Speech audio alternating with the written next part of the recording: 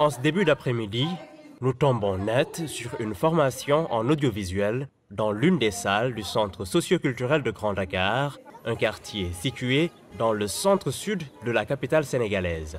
C'est là où se trouve aussi le centre Yenenga du scénariste et cinéaste franco-sénégalais Alain Gomis. Il y avait beaucoup de jeunes qui voulaient faire du cinéma ou qui déjà faisaient du cinéma mais qui me parlaient de leurs difficultés.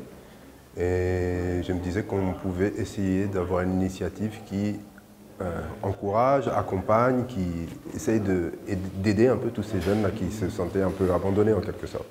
Le coordonnateur du centre Yenenga, jeune réalisateur producteur, a bénéficié de deux mois de formation accélérée en France pour augmenter ses connaissances. Le centre Yenenga maintenant est venu pour changer la philosophie du cinéma sénégalais. Donc démocratiser le cinéma, faire en sorte que le cinéma soit à la portée de tout le monde et qu'un outil également puissant pour atteindre la cible et changer également donc euh, accompagner pas mal de jeunes mais aussi professionnaliser le maximum de professionnels du cinéma. Vu l'immensité des difficultés rencontrées dans la distribution des courts et longs métrages, le centre Yenenga noue des partenariats avec les jeunes cinéastes sénégalais dont le lauréat du Léopard d'Or du meilleur premier long métrage au 72e festival de Locarno en Suisse. Pour le film Bamoum Nafi, nous collaborons avec le centre Yenenga pour faire la distribution du film au Sénégal parce qu'il y a un constat qui est réel, c'est que nos films ne sont pas euh, souvent vus chez nous. Donc pour combler ce gap, on a décidé de collaborer avec le centre Yenenga et la maison de production que mon ami et moi avons qui s'appelle Joe Didi. On va montrer le film au Sénégal, commencer par un cinéma ici et le montrer dans les quartiers, le montrer dans toutes les régions. Pape Bounamlopi, âgé de 35 ans, fait partie de cette nouvelle vague de cinéastes sénégalais qui commencent à faire leur trou. Sa référence, c'est Gibril Diop, Mambeti. Ses deux courts-métrages, L'arme et Demdem, lui ont valu 16 distinctions à l'international et une au Sénégal. J'aime son cinéma, son cinéma me parle, notamment euh, son film Tukibuki. C'est un film que je n'arrête pas de regarder parce que la manière dont euh, l'approche qu'il a euh, de ces animaux, la manière dont il filme la violence, la manière dont il pose ses thématiques et il les traite, bon, ça, ça me parle aussi.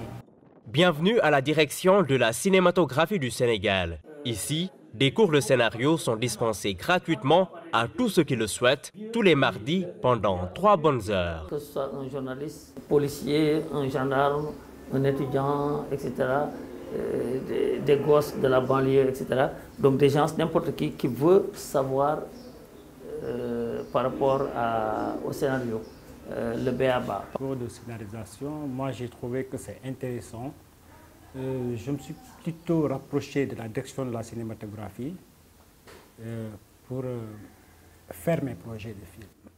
Le directeur de la cinématographie du Sénégal plaide pour l'augmentation par le gouvernement du Fonds de promotion de l'industrie cinématographique et audiovisuelle, FOPICA. Donc la dotation initiale était de 1 milliard. Le président l'a porté, hein, donc l'a porté à 2 milliards en 2018. Donc, euh, on est en train de faire les réglages pour que les décisions présidentielles puissent être vraiment effectives. Hugues Diaz souhaite vivement l'érection de la Cité du cinéma sénégalais. À travers cette Cité du cinéma, nous voulons quand même vraiment créer l'autonomie, l'autonomisation, autant pour moi, de cette chaîne de valeur qui va de la formation, parce que euh, cette Cité du, du cinéma prévoit un institut supérieur des métiers du cinéma. À en croire ces spécialistes du 7e art, le cinéma sénégalais est en train de renaître de ses cendres, même s'il reste encore du chemin à faire. Euh, Alain Gomis vous dit par exemple, euh, je suis amoureux de la technique, de l'esthétique de Djibril Diop Mambeti et de tant d'autres. Hein. Il y a Fellini qui les, qui les influence. L'industrie cinématographique aujourd'hui au Sénégal, il y a des trous. Euh, il y a des très grandes compétences euh, sur, dans le point de vue de production exécutive, euh, dans, chez certains techniciens. On manque de certains techniciens de pointe comme les chefs opérateurs ou les ingé-sons. toute la post-production, c'est très artisanal. Le cinéma sénégalais enregistre depuis quelque temps beaucoup de distinctions individuelles et collectives, une renaissance symbolisée par la percée fulgurante de jeunes cinéastes avec comme tête de file Alain Gomis, lauréat du Grand Prix du jury à la Berlinade 2017, entre autres récompenses.